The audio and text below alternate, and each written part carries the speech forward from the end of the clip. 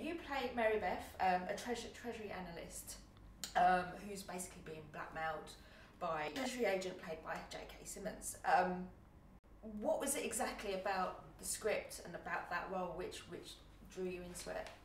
I think for me, it was a really exciting opportunity to get to create a character from the ground up. You know, this is an original script, felt really fresh and unique and really smart. And I didn't really know what to expect when I started reading it uh, to until the last page.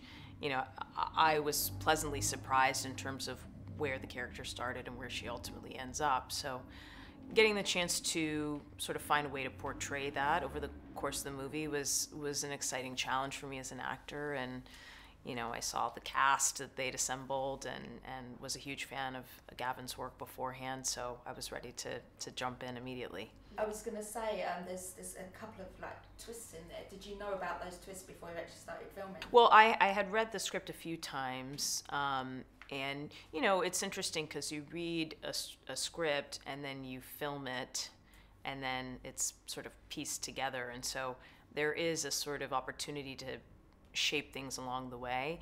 But I was interested to see how it would all play out. You know, certainly, when I read it, I was really surprised and, and didn't have expectations of where the movie was going to go, and I and I hoped that that translated to the screen, and I feel like it ultimately does. It does.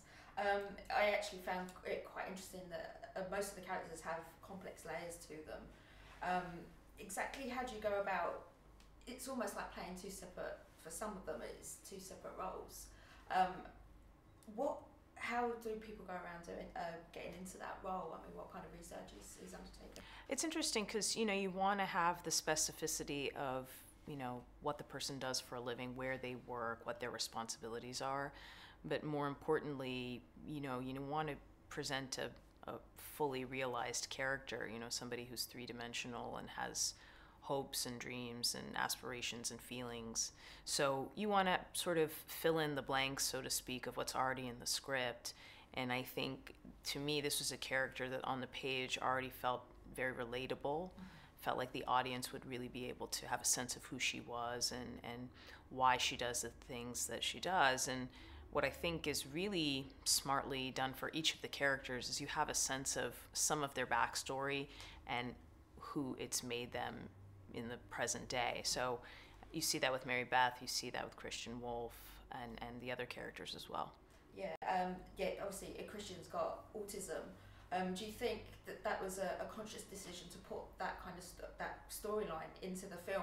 So it takes away the preconception of what people think about people with autism. Yeah, I mean, you know, it's interesting. I think in terms of presenting this character with a certain amount of sensitivity, there was definitely a lot of you know research done and care taken to make sure that there was an accurate portrayal.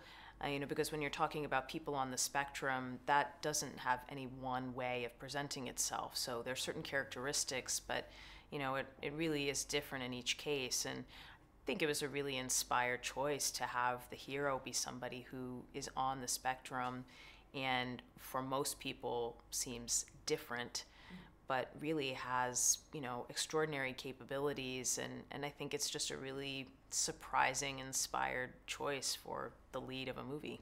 Um, just finally, um, you don't actually appear in any scenes with Ben. Did you actually get to spend any time on set together?